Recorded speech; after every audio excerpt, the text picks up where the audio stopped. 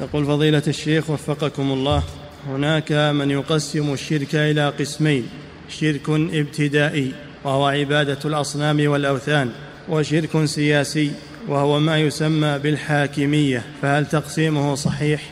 خل تقسيمه عنده هذا؟ خلوا عنده؟ العلماء قسموا الشرك إلى شرك أكبر وشرك أصغر. هذا تقسيمات العلماء. أما تقسيمات هؤلاء خلوها عندهم يستعملونها كيف؟ نعم.